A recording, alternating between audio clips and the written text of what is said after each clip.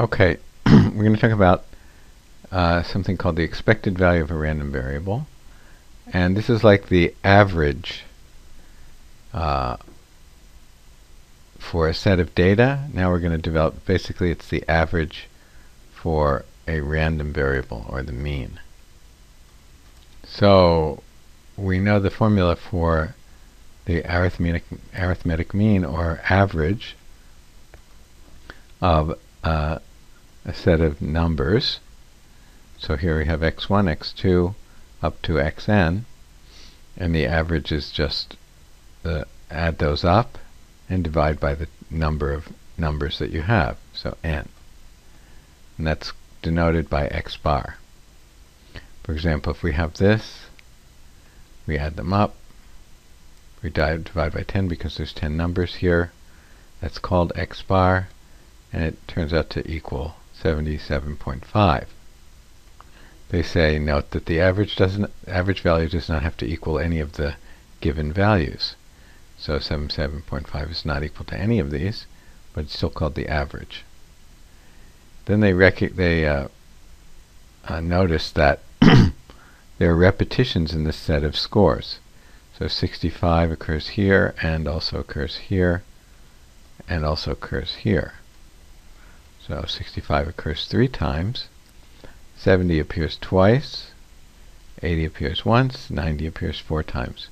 So instead of writing it this way, I could write 3 times 65, and then 72 times 70, 1 times 80, and 4 times 90 over 10.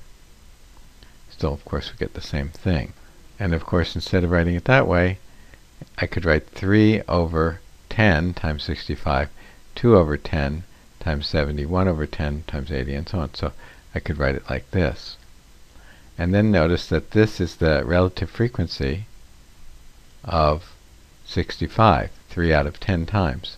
This is the relative frequency of 70, relative frequency of 80, relative frequency of 90. So they say to formalize this idea, if x1 in our data set occurs f1 times, and x2 occurs f2 times, and xt occurs ft times, then uh, we can write that the average is like this, of course, f1 times x1, f2 times x2, and so on. And we can also write it like this, where n is the total number of values being averaged. We also note that if we add up all these frequencies, these are the frequencies of all the elements in the set, in the data, then uh, we should get n. And uh, f1, f2, ft are called the frequencies of x1, x2, xt. And these ratios are called the relative frequencies. They say we can also build make a table like this 65 occurred 3 times, 72 times, 81 times, 94 times, total should be 10. And this table is called a frequency table for the test scores that we were given before. I, we didn't say that those scores were test scores, but we'll say it now. So uh, here's an example. Suppose the Bureau of Census surveys a group of married couples and records the data shown here concerning the number of children born to them. Find the average number of children born. So we get 50 couples had no children, 107 had one, 201 had two, 102 had three, da, da, da, all the way up to this couple that had nine. The total here, since they surveyed, um, well they didn't say, but apparently they surveyed 500 people, so the total is 500 there. So x bar is 50 over 500 times 0 because the frequency of uh, of the 0 was 50, so it's 50 over 500.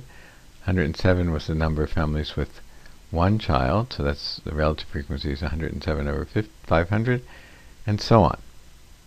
And we sum that all up. We do this to all these calculations. Get the average number of children was 2.002.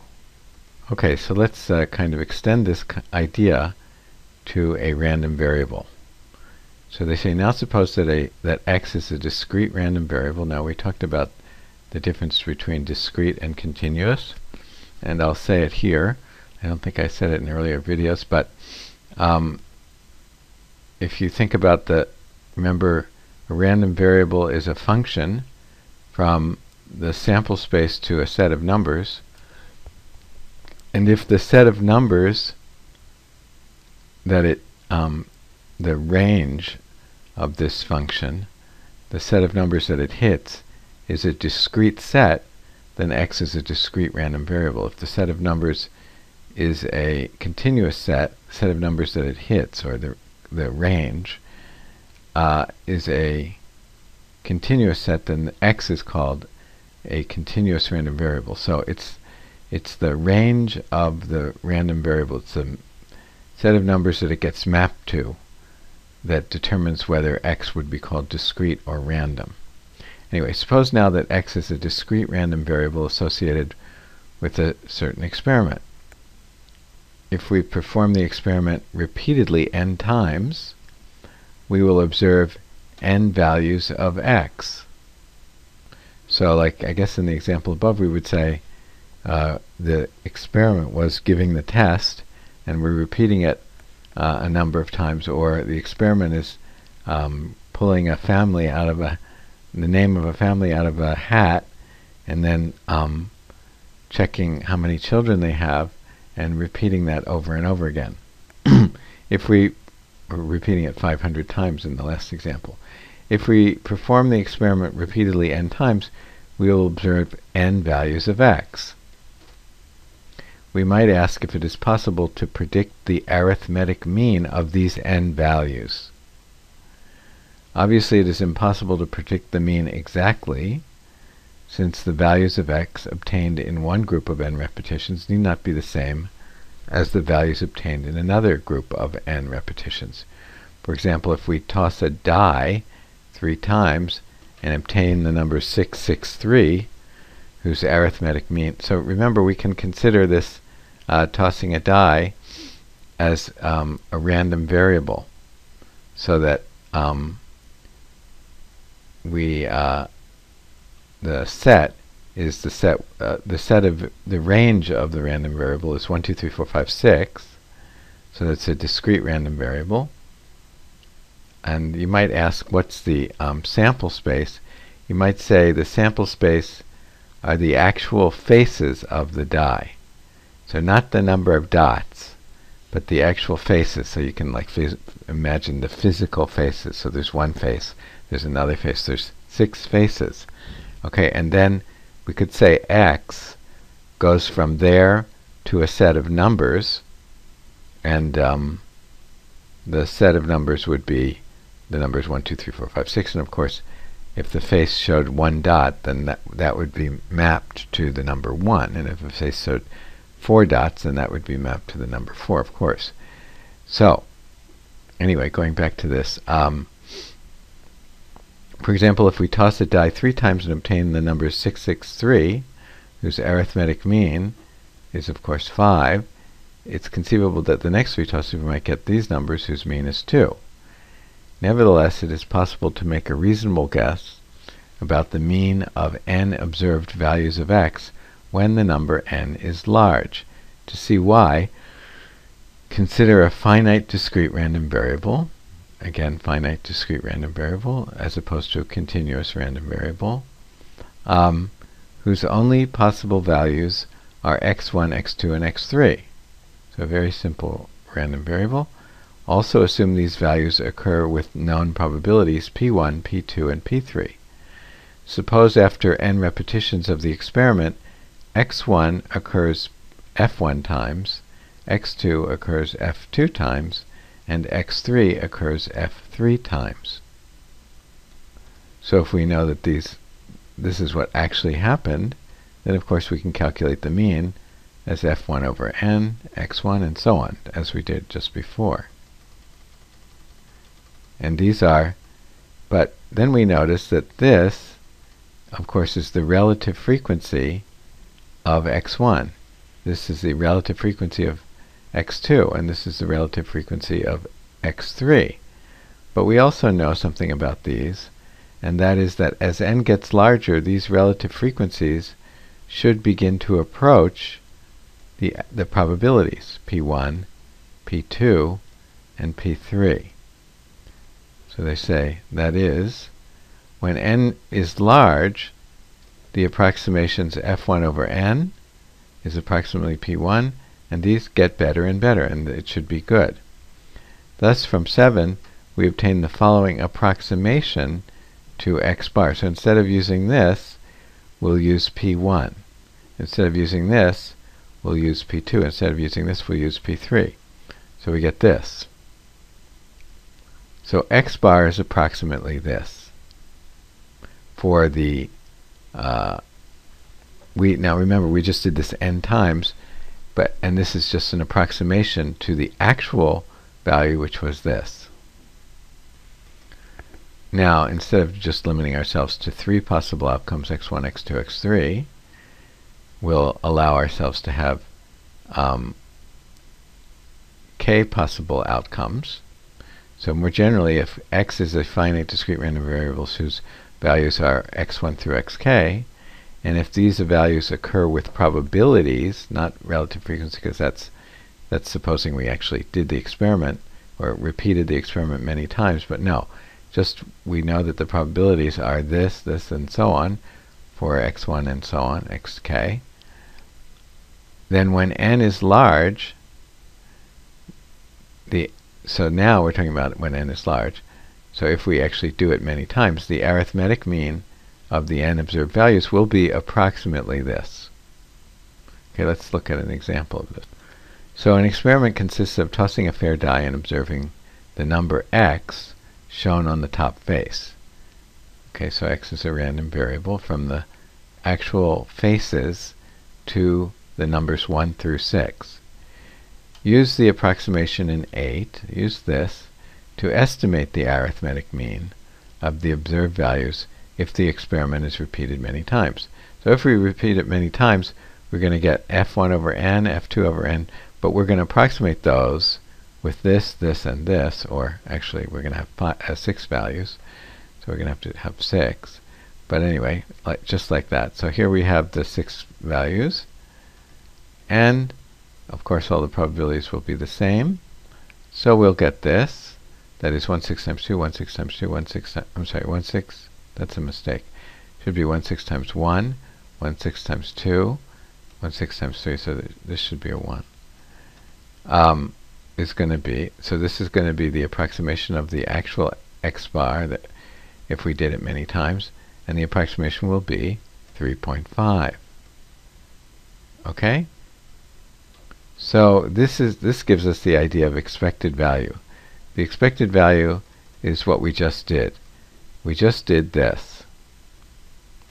We just took p1 times the x1, um, where p1, remember, is an approximation of the relative frequency, but we're, we're just using p1 here. p2 times x2, so this is the probability of x2 times x2, and all the way up to xk, and the probability of xk. And that's called the expected value. And it's like the average for the random variable. So let's read this again expected value. If the values x1 through xk of a finite discrete random variable x occur with these probabilities, then the expected value of this random variable x, denoted by this, is defined to be this, is this, this thing that we've just been talking about. In other words, the expected value of x is the sum it's a sum, sum, of the possible values of x, the possible values of x, x1, x2, xk, times their probabilities of occurrence. Their probabilities, not their relative frequency, but their probabilities.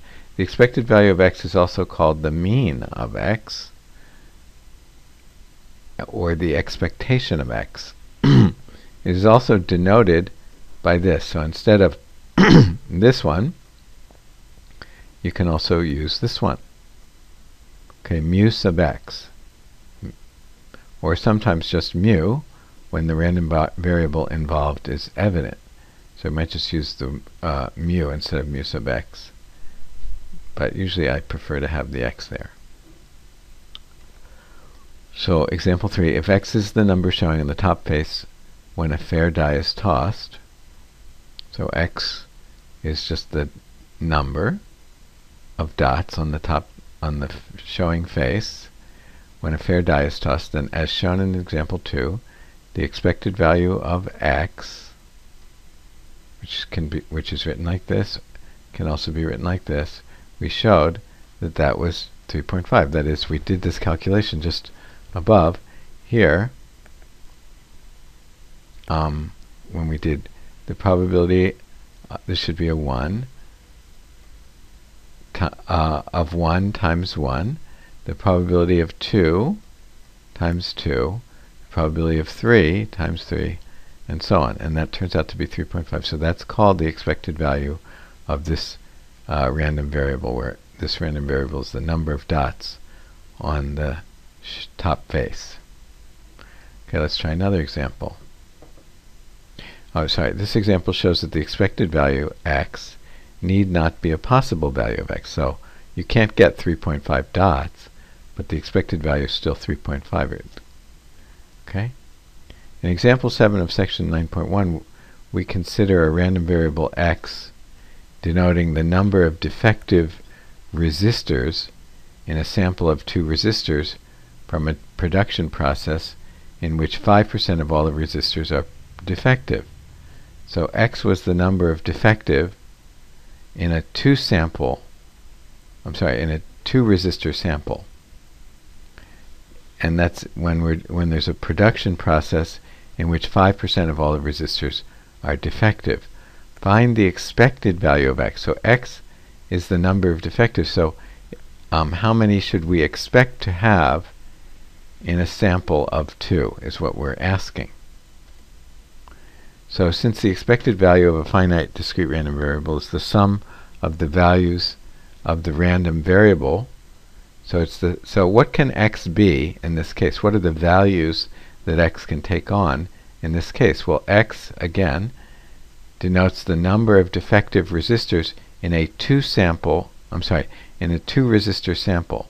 So if you only have two resistors in your sample, how many, uh, what can x be?